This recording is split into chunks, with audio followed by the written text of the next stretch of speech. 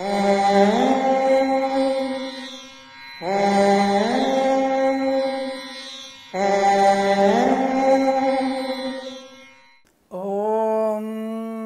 గురుభ్యో నమ. హరి ఓం. అక్షస్రక్పరశు గదేషు కులిశాన్ పద్మందను కుండికాం. దండం శక్తిమసించ జర్మజలజం ఘంటాం సురాభాజనం. శూలం పాశసుదర్శనే చ దదతీం హస్తై ప్రవాళ ప్రభాం సేవే ఇహ మహాలక్ష్మీం సరోజస్థితాం దశరాత్రి ఉత్సవాల్లో శరణ్ ఉత్సవాల్లో భాగంగా మనం చెప్పుకుంటున్నటువంటి విశేషమైనటువంటి విషయాల్లో ఇంకొకటి ముఖ్యమైనది. ఈ నవదుర్గలు ఎవరో మీకు తెలుసా? నవదుర్గల పేర్లు ఏంటో తెలుసా మీకు? నవదుర్గలు ఎవరు అనేది ఆ దుర్గమ్మవారి తొమ్మిది రూపాలే. అది అందరికీ తెలుసు. మహాకాళికా రూపమైనటువంటి త్రిమూర్త్యాత్మకం మహాకాళి మహాలక్ష్మి మహాసరస్వతి కలిపితే ఆ యొక్క రాజరాజేశ్వరి అమ్మవారు అవుతారు. ఆ రాజరాజేశ్వరి అమ్మవారిని మనం తొమ్మిది భాగాలుగా విభజించుకుంటే ఒక్కొక్క రోజుకు ఒక అమ్మవారిని అనుకుంటే నవదుర్గలు అనుకుంటే మొదటి దుర్గాదేవి శైలపుత్రీదేవి అయి నమ. అమ్మవారికి మొదటి పేరు నవదుర్గల్లో మొదటి పేరు అమ్మవారిది శైలపుత్రి. రెండవది బ్రహ్మచారిణి. మూడవది చెన్నఘంటి మూడవది కూష్మాండ రూపిణి ఐదవది స్కందమాత. ఆరవది కాత్యాయని. ఏడవ రూపము కాళరాత్రి. ఎనిమిదవ రూపము భైరవి. తొమ్మిదవ రూపము సర్వసిద్ధి.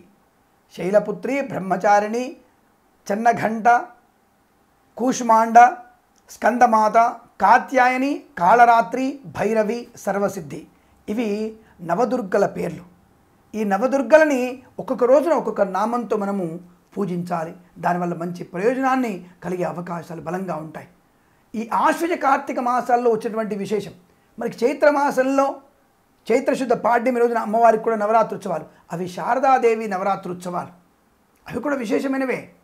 అవి శ్రీరామ పట్టాభిషేకంతో పూర్తయిపోతాయి చైత్రమాసంలో ఇక్కడ విజయదశమితో పూర్తయిపోతాయి. చూడండి మనకి ప్రకృతికి మనం దగ్గరగా ఉంటాం. ఇప్పుడు కూడా మన పూజలన్నీ పురస్కారాలన్నీ కూడా ప్రకృతిని అవగతం చేసుకోవడానికి. ఆ సమయంలో చైత్రమాసం వచ్చేటువంటి ఆరోగ్యాన్ని పొందుకోవడానికి శరీరాన్ని బద్దకరించి బయట పెట్టుకోవడానికి శుభయోగాన్ని పొందుకోవడం చేసేటువంటి ప్రక్రియ అక్కడ శారదా నవరాత్రి ఉత్సవాలు ఇక్కడ శరన్నవరాత్రి ఉత్సవాలు. ఈ సమయంలో శరత్కా శరదృతువులో శరత్కాలంలో ఉన్నటువంటి ఆరోగ్యాన్ని ఈ ఋతువులో వచ్చేటువంటి ఈ ప్రకృతిలో వచ్చే మార్పుల్ని మన శరీరానికి అనుకూలంగా మార్చుకోవడానికి తొమ్మిది రోజులు ఉపవాస దీక్ష. ఉపవాసం అంటే ఏమిటి? దేవుడికి దగ్గరగా ఉండడం నక్తముగా ఉండడము ఒంటిపూట భోజనం చేయడం. ఈ తొమ్మిది రోజులు బ్రహ్మాండంగా ఉపవాసం ఉండి పదవ రోజున కావలసిన పదార్థాలు శుభ్రంగా తింటారు. తిని శరీరాన్ని ప్రకృతికి అనుకూలంగా మలుచుకునేటువంటి విశేషమైన పూజలు మనవి.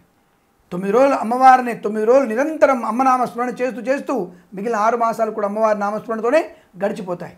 ఎందుకంటే ఈ కాలంలో సౌకర్యవంతమైనటువంటి వెన్నెల ఆహ్లాదకరమైన వాతావరణం ఇవన్నీ కూడా అనుకూలంగా ఉంటాయి. ఈ సమయంలోనే చంద్రుడి యొక్క కాంతి ఇంకా ఎక్కువగా విస్తరింపజేస్తుంది. చంద్రుడు బుద్ధి కారకుడు కదా.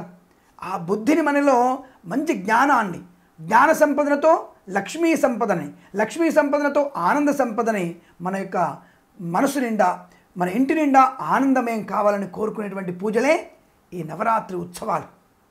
ఎటువంటి అనుకూలవంతమైనటువంటి ఉత్సవాల్ని ఏకాగ్రతతో మనం కనుక చేసినట్టయితే రాజ్యకాంక్ష రాజకీయ నాయకులకి అనుకూలవంతమైన పదవి లభించడం అలాగే శత్రునాశనాన్ని పొందుకోవడం ఇంటి నిండా ధనం ఉండడం మన ఆయుధాలు ఎలక్ట్రానిక్స్ సంబంధించినటువంటి ఎలక్ట్రికల్ సంబంధించినటువంటివితో పాటుగా శాటిలైట్వి కూడా అంతరిక్షాన్ని పంపించేటువంటి ఉపగ్రహాలు కూడా మనకి ఆయుధాలు లాంటివే. ఇవన్నీ కూడా మనం పర్ఫెక్ట్గా మనం పూజించుకుంటే వాటి వల్ల మనకి ప్రయోజనం ఆనందమే జీవనం. మంచి శుభయోగాన్ని పొందుకునే అవకాశం ఉంటుంది.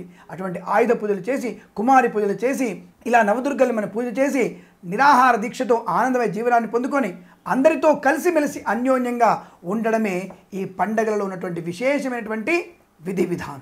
మనం ఇలా అమ్మవారిని పూజించి మనం ఏ కార్యక్రమం వెళ్తే విజయం కాక మరేం వరిస్తుంది? అంతా విజయమే అంతా ఆనందమే.